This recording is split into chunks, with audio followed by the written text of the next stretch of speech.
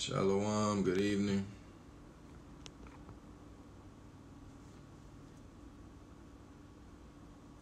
Watched a video recently on this topic, black nobility and their place in, in history, uh, done by Corey Mayo. Uh, I don't want to watch a lot of videos. I, I watch basically Lex Will. Um, Corey Mayo, you have absolutely no idea what you're talking about. It was so obvious that you were just biting off other people's videos. And you know, it just really wants me to, uh, makes me want to uh, thanks and, and give credit where credit's due to Lex Will because Lex Will, you know what you're talking about. And just about everything you teach in your videos, I, I've found to be true. Here's William Tyndale. I went over him yesterday in the other video. Um, but I didn't go in to read about him, and it, it turns out he's a very, very important man. Um, he has what this his Wikipedia page here is got to be six to seven pages long, with 50 citations, uh, 75 or something resources, sources. You know, look at all this. You see this? Very important, man. Let me show you one other thing very quick before we get into just who this gentleman was. He was of British descent, obviously, born in Britain, died in um, Germany, I believe. Anyhow, look at this uh, statue. You can see the bridge of the original nose and where the original nose was cut off and where two Dinkleberry looking things were put under it. Um, I don't know what they were thinking. That looks totally ridiculous. Um, never seen that, you know. Usually they just chop it off, but damn, that is fucking stupid. All right. Um, William Tyndale. Born 1494, died 1536, was an English scholar who became a leading figure in the Protestant Reformation in the years leading up to his execution. He is well known as a translator of the Bible into English, influenced by the works of Erasmus and Martin Luther. Now they talk about that he's influenced here, but as we're going to find out, he's the influencer. A number of partial English translations have been made from the 7th century onwards, but the religious ferment caused by Wycliffe's Bible in the late 14th century led to the death penalty for anyone found in unlicensed possession of scripture in English. That's crazy. Though translations were available in all other major European languages. Um, okay. Strange. Anyway, Tyndale worked during a Renaissance scholarship, which saw the publication of Reuchlin's Hebrew grammar in 1506. Greek was available to the European scholarly community for the first time in centuries, as it welcomed Greek speaking intellectuals and texts following the fall of Constantinople in 15, 1453. I'm going to skip through this because it's real long, but um, going to get the, the important parts here. So, skipping down to the next paragraph, top of next paragraph. Tyndale's translation was the first English Bible to draw directly from Hebrew and Greek text, the first English translation to take advantage of the printing press, the first of the new English Bibles of the Reformation, and the first English translation to use that name as the Most High's name as preferred by English Protestant reformers.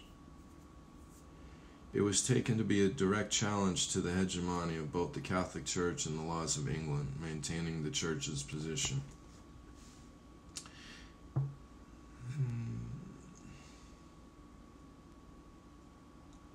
I'm going to skip through here. Uh, Henry's annulment. Alright, so he had to flee England. Um, it's like four four sentences down in the next. Fleeing England, Tyndale sought refuge in Flemish territory of the Catholic Emperor James, Charles V. In 1535, Tyndale was arrested and jailed in the castle of Vilvoorde.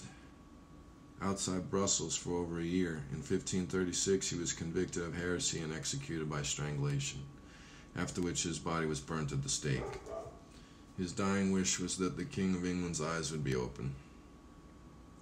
This seemed to be to find its fulfillment just one year later with Henry's authorization of the Matthew Bible, which was largely Tyndale's own work, with missing sections translated by these jokers. Tyndale's translation of the Bible was plagiarized for subsequent English translations, including the Great Bible, the Bishop's Bible, authorized by the Church of England. In 1611, the 47 scholars who produced the King James Bible drew significantly from Tyndale's original work and other translations that descended from his. One estimate suggests that the New Testament in the King James Version is 83% Tyndale's words, and the Old Testament 76%. Hence, the work of Tyndale continued to play a key role in spreading the Reformation ideas across the English speaking world and eventually across the British Empire. Yeah, the English speaking world, world would be the British Empire, would it not? Uh, Tyndale was placed 26 in the BBC's poll of the top greatest Britons. Top greatest Britons. I- have seen this 100 greatest Britons, 100 greatest black Britons. However, look at that. They didn't even uh, belittle his accomplishment. They just said he's 100 greatest Britons. Period. All right. Um, you know, he studied at Oxford. I'm gonna skip down here a little.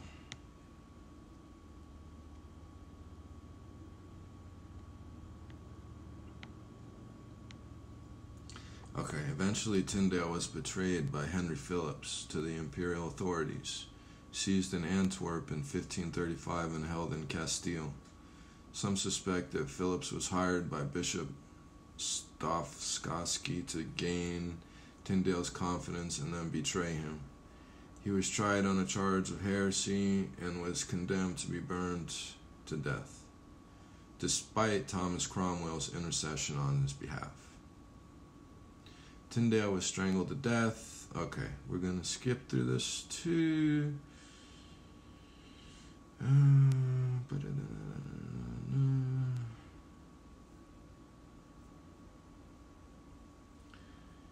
Within four years, next paragraph, four English translations of the Bible were published in English at the king's behest, including Henry's official Great Bible.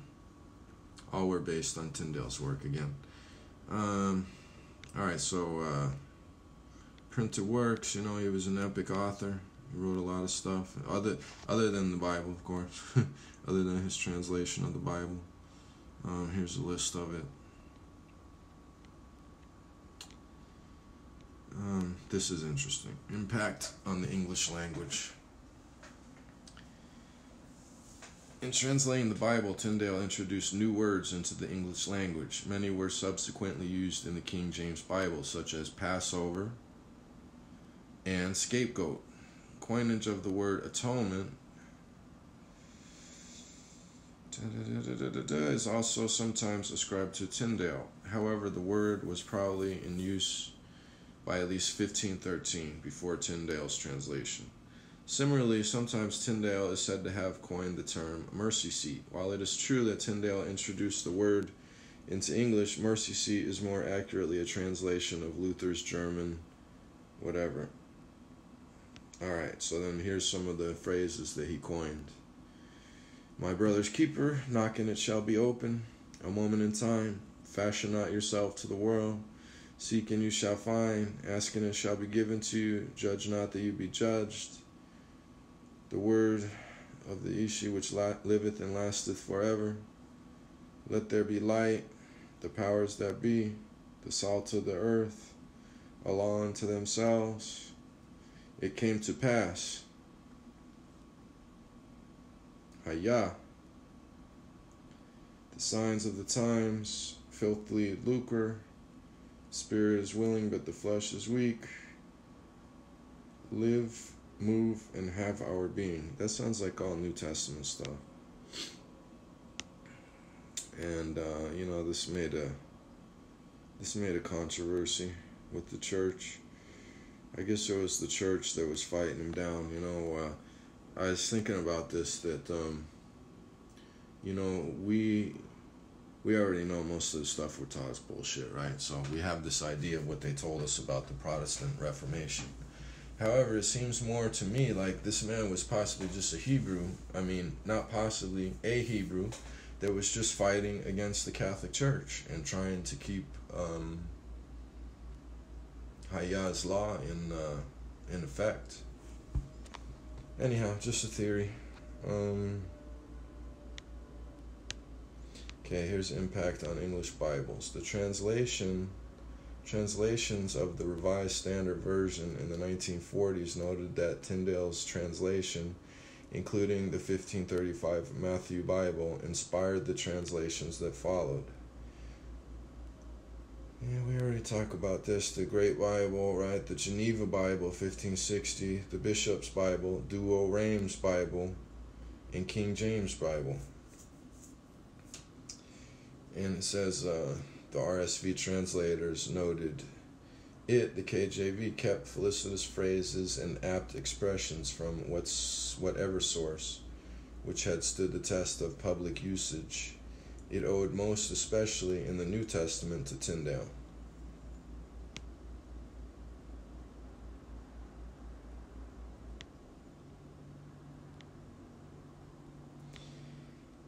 Um, you know, again, uh, Deuteronomy 25 15, equal weights and measures. Um, and, um, you know, I realized that um, some people might look at this and, and, and ask why I don't do a video about my own people. Um, and, you know, I would say to you very simply that uh, this is about my people. Every time I put an image up of uh, a melanated person that was lied on and, and their history stolen away from, what I see is the lives of my people. So to me, this video is all about the lives of my people. Okay. So that being said, uh, have a great night. Thanks for watching. Hiya.